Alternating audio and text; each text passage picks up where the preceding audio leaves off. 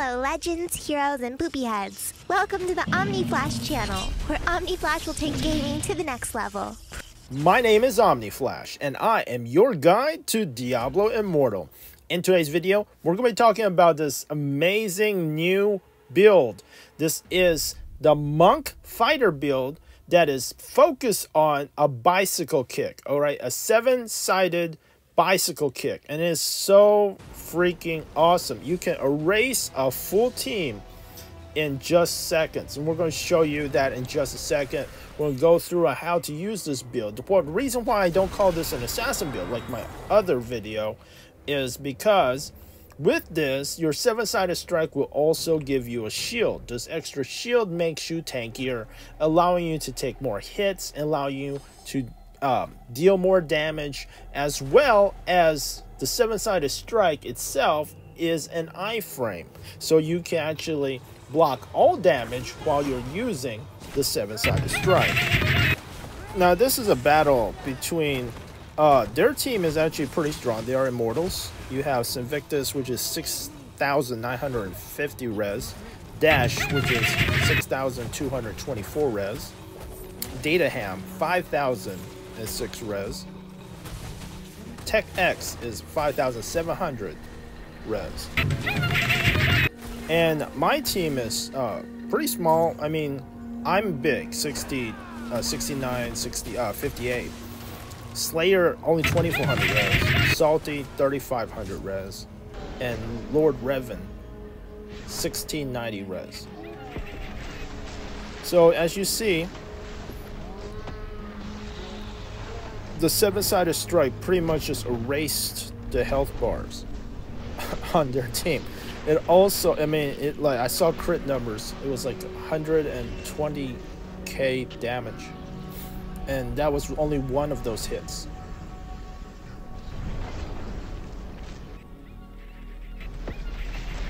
And this is this is absolutely just insane the amount of damage that it does and it's and it's funny. It's funny. It's funny to use. It reminds me of Mortal Kombat.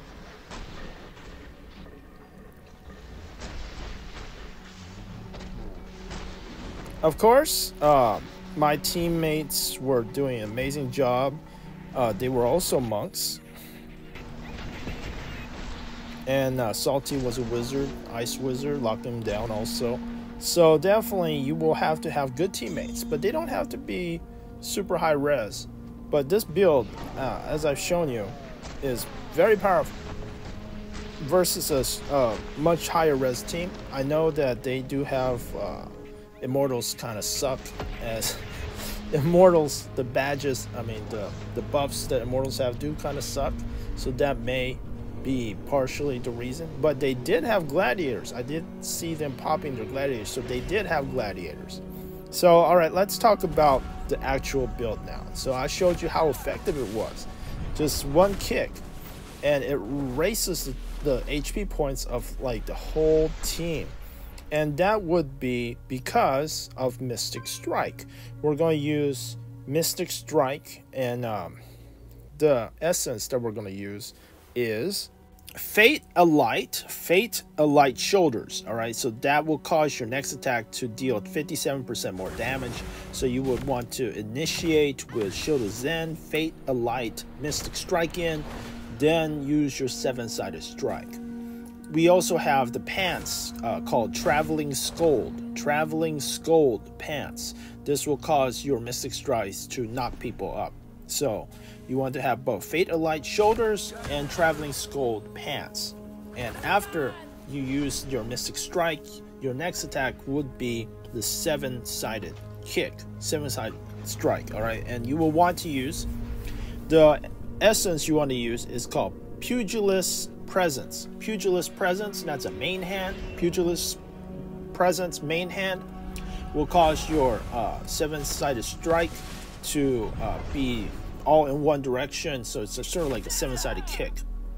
You will also want to use the chess piece called Budding Anew. Budding Anew chess piece will give you a shield. So during your seven-sided strike, you will be pretty much invincible. It's an iframe. Then after you come out of your seven-sided strike, you will also have a shield. So this is incredible. You'll be able to dodge damage. You'll be able to uh, also have a shield to sustain after you get through and deal some damage. And uh, if you need to, you can escape, heal up, and re-engage. Shield Zen is just absolutely amazing. You will have the hat. The hat would be called Pensive Crown. Pensive Crown will make it so that your Shield of Zen will last 30% longer. Next, you will use Flying Kick as a sort of like a knockback in order to keep your enemies juggled and knocked back so they're not able to use skills. Twitching Palm is your offhand. It's a very good offhand. Whenever you punch using your Fist of Thunder, that's that will be your main attack, Fist of Thunder. The Twitching Palms will let out um, electricity, which will hit enemies around. So giving you an AOE, uh, making your Fist of Thunder an AOE attack Set items that I use would be 6-piece gloom set. 6-piece gloom set works really good when I have a chip of Stoneflesh uh, 5-star legendary gem. Okay, so if you have a chip of Stoneflesh, a 6-piece glooms is actually really good. That fear will proc uh, that gloom set. Now getting 6-piece glooms is probably going to be pretty difficult, so you can use 2-piece Vithu's and 4-piece glooms as well. That's uh, that's not really that bad.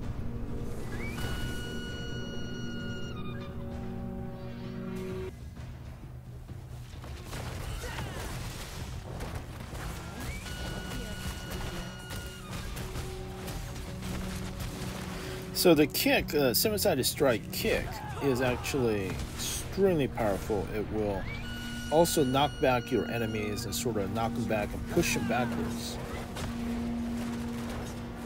During those knockbacks, they're not actually able to attack you. They're, they're being juggled.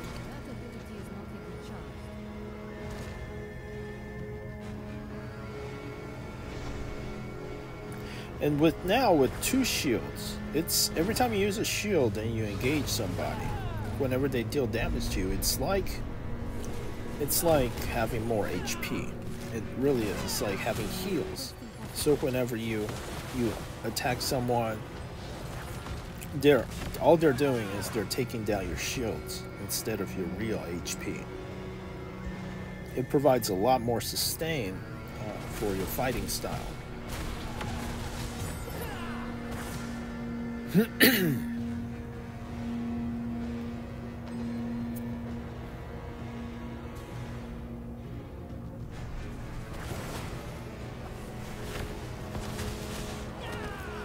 I think it's it's a very nice way to get into the backline, right? Now, the kick will actually move you straight into their backline. So it's if you wanna if you want a fighting style that will allow you to dive the back line while doing a ton of damage. This would be it.